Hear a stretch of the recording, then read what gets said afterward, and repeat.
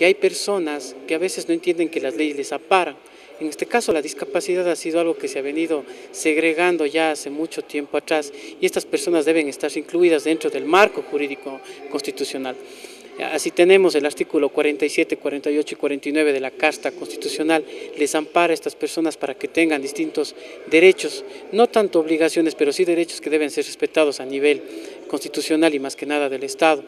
Em, en, otros, en otros puntos, más que nada las, ordenanzas, la ley orgánica en sus distintos niveles, también establece exoneraciones en cuanto a cobro de tributos para las personas con discapacidad y más que nada con el tema que estamos proponiendo acá, es hacer que a las personas con discapacidad no se las utilice, porque lamentablemente para adquirir un vehículo actualmente utilizan el carnet de una persona con discapacidad para que se exonere del cobro de impuesto que le corresponde. Es decir, que la persona con discapacidad, al, ganar un espacio en la ley, se le está utilizando para infringir la misma.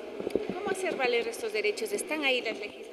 Están las legislaciones y encontramos las instituciones. Actualmente, como le comento, existe el sistema Red de Discapacidades, que es el CIREDIS, entre los cuales está el Consejo Cantonal de Salud de Cuenca, encontramos la Municipalidad de Cuenca, la Alcaldía de Cuenca, a su vez también está la Dirección de Salud, la Dirección de Educación, que están velando por los derechos de las personas. Lamentablemente la promoción no se ha dado, no se han difundido tal vez pues, conveniencias personales de algunas personas o anteriormente de servidores, pero ahora creo que estamos en una nueva época en la que se debe hacer respetar los derechos de las personas con discapacidad.